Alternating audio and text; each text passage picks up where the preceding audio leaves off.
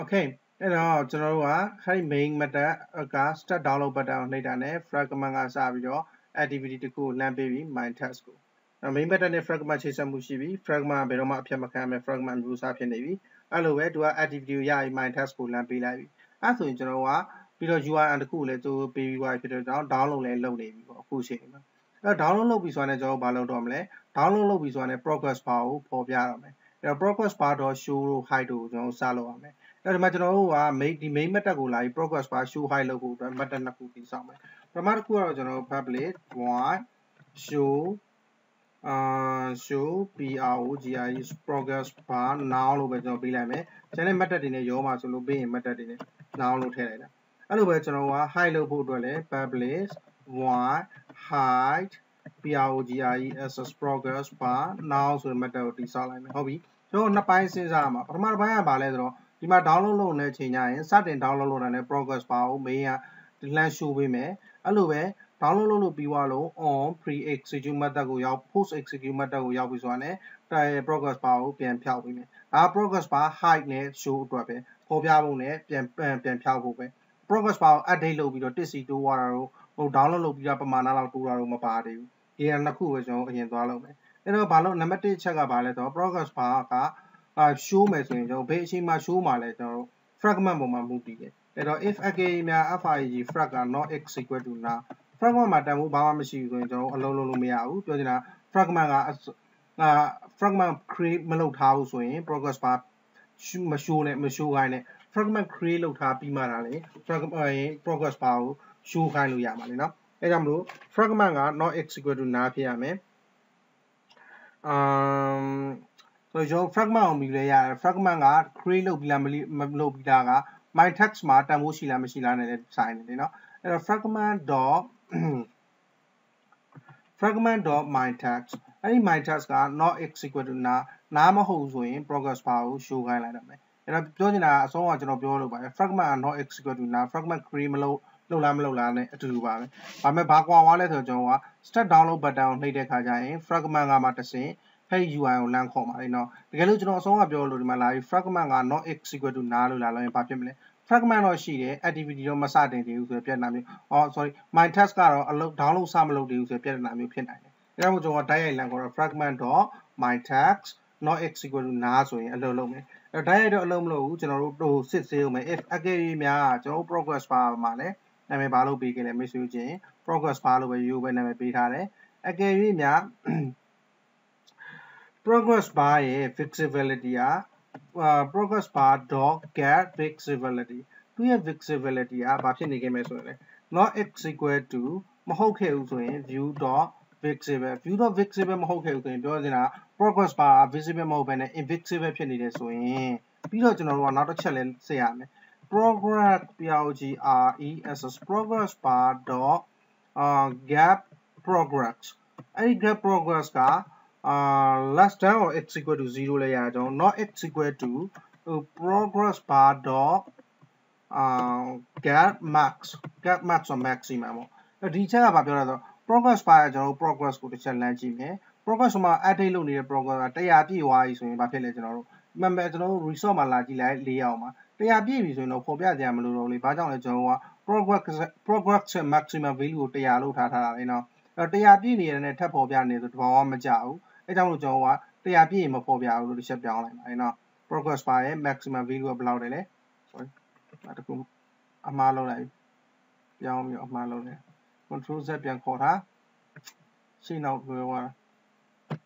good အဲ့တော့ progress bar maximum value က100ဖြစ်နေနော်အဲ့တရားဖြစ်နေတဲ့အချိန်မှာကျွန်တော်တို့ကလာပြီးတော့ update တွေလုပ်နေအပူကြီးပဲအော်ပေါ်ပြနေအပူကြီးပဲအော်ပေါ်ပြတယ်မလို့ပေါ့တရားပြေးသွားတယ် တရားဆို progress bar ပြေးသွားတယ်အဲ့လို progress bar မပြည့်နေတဲ့အချိန်ဆိုရင်တော့ကျွန်တော်တို့ကပေါ်ပြမယ်ဆိုဘာကိုပေါ်ပြမှာလဲ progress bar dot sorry progress progress progress bar dot set visibility ကိုကျွန်တော်က SCT set visibility ကို view dot visible ထားလိုက်မှာ okay ကဲ အမေဆိုသဘောပေါက်တယ်နော်ကျွန်တော်က fragment ရဲ့ text စလုံးလုံးနေလားမလဲအာတန်ဖိုးရှိလားမရှိလားစစ်ဆေးတယ်ရှိရဆိုရင်နောက်တစ်ချက်ထပ်စစ်တယ်ပါတယ် progress bar ကမမြင်ရတဲ့အခြေအနေမှာဆိုမြင်ခိုင်းပါလေအဲကြောင့်လို့မမြင်ရတဲ့အခြေအနေဟုတ်ရဲ့လားလို့စစ်တယ်ပြီးရင် progress bar ရဲ့ maximum value က100ပြည့်လားမပြည့်လားစစ်တယ်100ပြည့်နေကျွန်တော်ကပေါ်ပြနေတဲ့အလကားပဲဗါလဲဆိုတော့ကျွန်တော် download လုပ်တာတအားမြန်သွားလို့100ချက်ချင်းပြည့်နေတယ်ပေါ့ဗျာအဲ့လောက်တော့မမြန်နိုင်ပါဘူးဒါပေမဲ့တိကျအောင်စစ်တာ100ပြည့်နေကျွန်တော်ဆက်ပြီးမပေါ်ပြတော့ဘူးပေါ့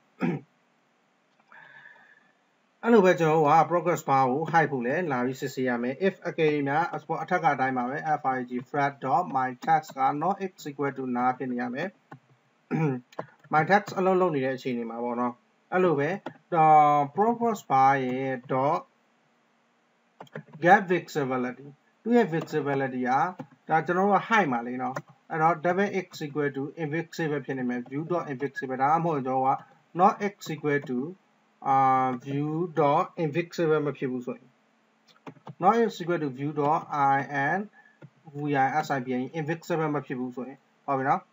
invisible မဖြစ်ဘူးဆိုတော့ဘာဖြစ်နေမှာလဲ visible ဖြစ်နေမှာပါ visible ဆိုတာဘာလဲမြင်နေရမယ်အဲဒါ progress bar ကလည်းအော်ဒီ syntax ကလည်းအလုပ်လုပ်နေမယ် progress bar ကလည်းမြင်နေရအောင်မယ်ဆိုရင်အာအဲ့ဒါဆိုရင်ကျွန်တော်ကဘာလုပ်လို့ရပြီလဲ progress bar ကို hide လို့ရပြီအဲ့ဒါဆိုရင် progress progress bar set visibility ကိုကျွန်တော်က view.home ဆိုပြီးကျွန်တော်တစ်ချက်ထည့်ပေးထားလိုက်မယ်အဲ့တော့ဘာလုပ်မှာလဲ show progress bar ရော high progress bar ရော progress bar ကိုဖြောင်းမှာဘယ်အချိန်ဒီမှာလဲမ asyntax စလုံးလုံးနေတဲ့အချိန်မှာတန်ဖိုးရှိနေတဲ့အချိန်မှာအဲ့လိုပဲဖြောင်း show မဲ့အချိန်တွေက progress bar visible မဖြစ်တဲ့အချိန်တွေ progress bar ရဲ့တန်ဖိုးက100ရာခိုင်နှုန်းမပြည့်တဲ့အချိန်အဲ့လိုပဲ high မဲ့အချိန်တွေကလည်းအာ asyntax စလုံးလုံးနေတဲ့အချိန် progress bar ရဲ့ visibility က invisible ဖြစ်နေတယ်ဆိုရင်ကျွန်တော်တို့က high ခိုင်းလိုက်မယ် okay good အဲ့ဒီ method နှစ်ခု show progress bar နဲ့ high progress bar ကိုကျွန်တော်ဒီ my task ကနေလာခေါ်မယ်အဲ့ my task ကနေလာခေါ်မယ်ဆိုကျွန်တော်ဘယ်လိုနည်းနဲ့ခေါ်လို့ရလဲကျွန်တော်မှာ activity ရှိပြီးသားအဲကြောင့်လို့ကျွန်တော်ကအရင်သင်ခန်းစာမှာ activity ကိုမရရအောင်ဒီ my task ကိုကျွန်တော်လှမ်းပို့ဟုတ်ပြီနော်အဲ့တော့စပြီးတော့ဒီမှာတစ်ချက်ကြည့်လိုက်ကျွန်တော်တို့မှာ on on sorry on pre execute method မှာလမ်းခေါ်မယ် on pre execute မှာဘယ်လိုလမ်းခေါ်မလဲဆိုတော့ activity လို့လမ်းခေါ်မယ်ဒါပေမဲ့ activity တွေကအများကြီးရှိနိုင်တယ်လောလောဆယ်တော့ကျွန်တော်ကတစ်ခုပဲပေါ့ဒါပေမဲ့နောက်ပိုင်းများလာမှာလေနော် များလာပြည့်တာမတောင်းအောင်ကျွန်တော်ဘာလုပ်လဲ main ဆိုတော့ activity လို့လာပြောပေးလိုက်ဟုတ်ပြီနော် main main နဲ့ casting လုပ်ပေးတာပေါ့ဗျာကျွန်တော်ပြောရနည်းနည်းလေး main ဆိုတော့ activity ဆိုတော့ main ဆိုတော့ကြောင်အောင်မယ် dot ဆိုပြီးတော့ကျွန်တော် show progress ပါလာလုပ်ရမယ်ဘယ်အချိန်မှာလဲ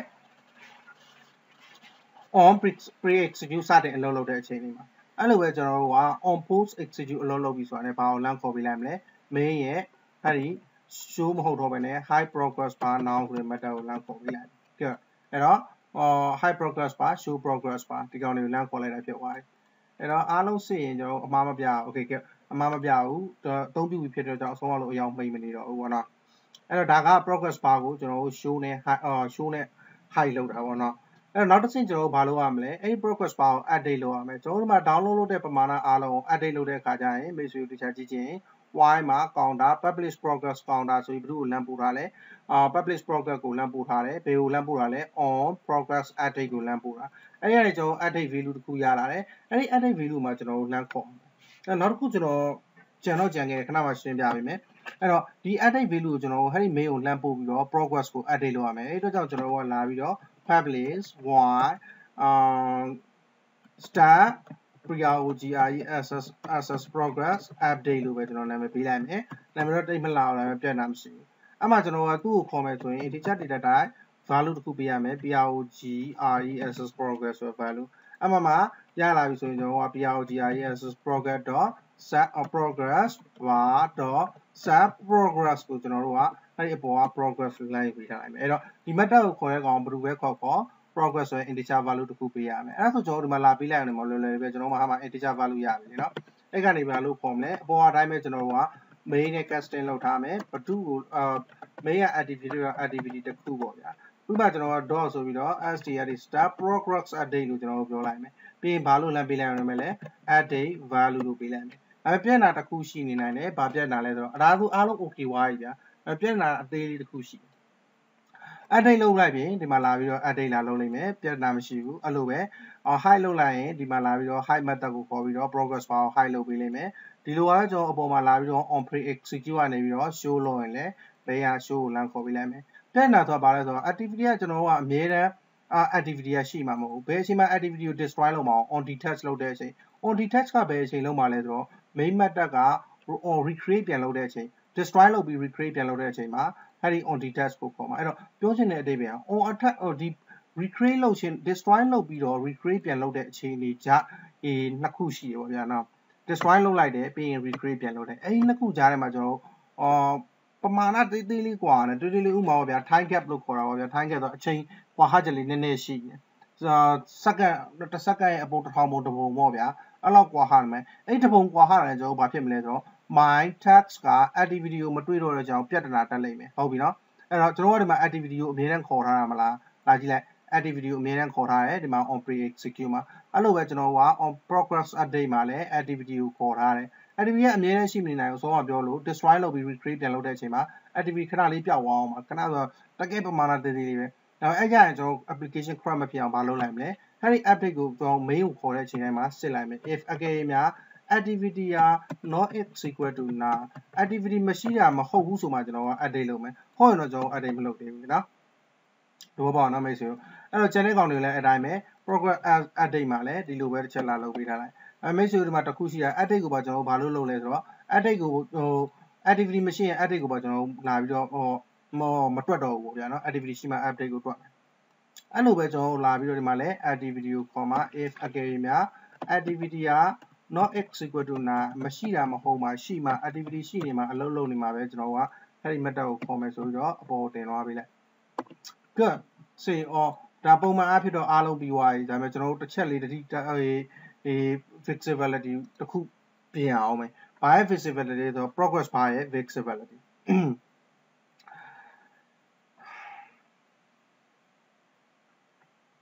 progress bar ရဲ့ visibility ကျွန်တော် main ကိုတစ်ချက်သွားမယ် အဲ့တော့ main ကိုတစ်ချက်သွားပြီးတော့ကျွန်တော်က on screen method ထဲမှာတစ်ချက်လာပြီးအလုပ်လုပ်မယ်အကယ်၍များအာ FIG frag က not x equal to နာဖြစ်နေမယ်အာ fragment ရှိနေမယ်ပေါ့ဗျာနော် not x equal to နာတော့ sorry နာဖြစ်နေမယ် fragment ရှိနေမယ်ပြီးတော့ကျွန်တော်တို့ဘာလို့ဘာဖြစ်မလဲအကယ်၍များအဲ့ဒီ frag က fragment ကလည်း not နာဖြစ်နေမယ် fragment ကဘယ်အချိန် not နာဖြစ်နေမယ်အမြဲဖြစ်နေပါပဲတကယ်တော့ကျွန်တော် my task ရှိပြီး fragment ရှိမှာဘာကြောင့်လဲဆိုတော့ fragment ရှိမှ my task ကရှိတယ်နော် အဲ့တော့ပြီးတော့ fragment.my task ကိုကျွန်တော်ကသူ့ရဲ့တန်ဖိုးကလည်း not x equal to နာဖြစ်နေတယ် my task ကလည်းအလုပ်လုပ်နေရမယ်ပြီးတော့နောက်တစ်ချက်ကအဲ့ဒီ f sorry fig frag.my task ရဲ့ dot get status stat ပဲ status dot uh get status ပေါ့ဗျာသူ့မှာရှိတဲ့ကျွန်တော်ဟိုမိတ်ဆွေတို့ asset တဲ့အဲ့တင်တော့ asset ရဲ့ condition တချို့ပြခဲ့တို့ state လေးเนาะ incident state သုံးခုပြခဲ့တယ် on on သူက starting state နဲ့ running state နဲ့စသဖြင့် state တွေရှိတယ်နော်အဲ့ state က running ဖြစ်နေတဲ့ state ကြမှာကျွန်တော်တို့ကအာအလုပ်လုပ်မယ်အဲ့တော့ဘာအလုပ်လုပ်မှာလဲဆိုတော့ကျွန်တော်ဆက်ပြမယ် double x equal to asyn tsk asyntax dot um get status sorry get status မခေါ်ပါနဲ့ asyntax dot status sta status dot running ဟုတ်ပြီနော်အဲ့တော့ my အော်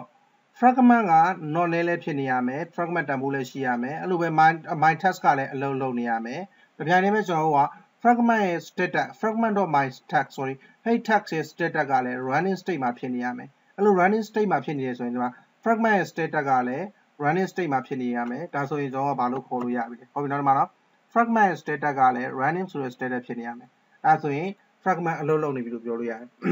အလုပ်လုပ်နေပြီဆိုရင်ကျွန်တော်ကဟဲ့ဒီမှာလာပြီးတော့ main main UI ကိုတစ်ချက်လောက်လာကြည့်လိုက်မယ် main UI မှာကျွန်တော်က visibility ကို gone ထားထားရတယ်နော်အဲ့ဒါကိုကျွန်တော်လာပြီးတော့ PR ကို GI ရဲ့ progress bar တော့ set visible VISI BI visibility ကို sorry view dot visible လို့တစ်ချက်ထားပြီးလိုက် okay ဒါဆိုရင်တော့အလုပ်အားလုံးလုပ်လို့ပြီးကျွန်တော်တစ်ချက် run ကြည့်ကြမယ်အခြေအနေဘယ်လိုရှိလဲလို့လက်တွေ့ဆမ်းဖို့တော့ကျွန်တော် my family.zip ကိုတစ်ချက်နှိပ်တယ်ပြီးရင် download လုပ်တယ် download လုပ်နေတယ် rotate လုပ်လိုက်မယ် rotate လုပ်လိုက်ရင် activity အပြောင်းလဲမှာ at progress bar update မလုပ်တော့ဘူးဒီလို update မလုပ်ရတဲ့အဓိကအကြောင်းရင်းကကျွန်တော်တို့ရဲ့အဲ့ဒီမှာ activity က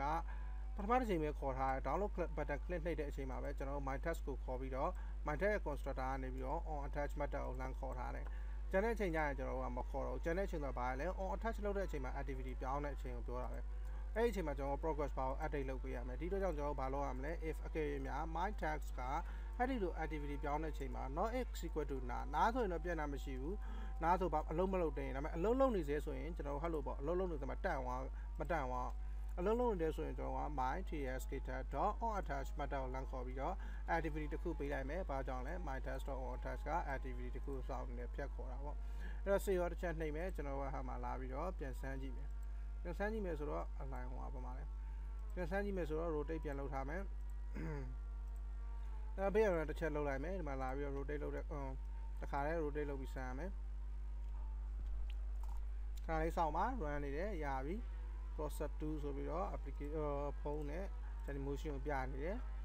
animation မှာ run ပြီးဒီခေါက်တစ်ချက်ကြည့်ထားပါကျွန်တော် my family.zip ကိုတစ်ချက်နှိပ်တယ် download တစ်ချက်နှိပ်လိုက်တယ် rotate တစ်ချက်လုပ်လိုက်တယ် rotate လုပ်သွားတယ်ဆက်သွားနေတော့မယ်ဒါဆိုအောင်မြင်သွားပြီကျွန်တော်ရဲ့ rotation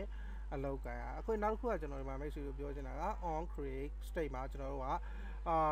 on create state မှာ set retain instance state ကိုထားထားတယ်တကယ်တော့ on create view မှာမလုပ်ဖ ೇನೆ on create view ဆိုတာ view ကို create လုပ်တော့ရှိသေးတယ်လုံးဝ create လုပ်လို့ပြီးသွားပြီ activity ရော fragment ကို create လုပ်လို့ပြီးသွားပြီဆိုမှထည့်ရင်ပိုကောင်းတယ်အဲဆိုရင်ဒီမှာ set retain instance state ဘာမှမထူးခြားပါဘူးဆုံးလုံးအတိုင်းပါပဲ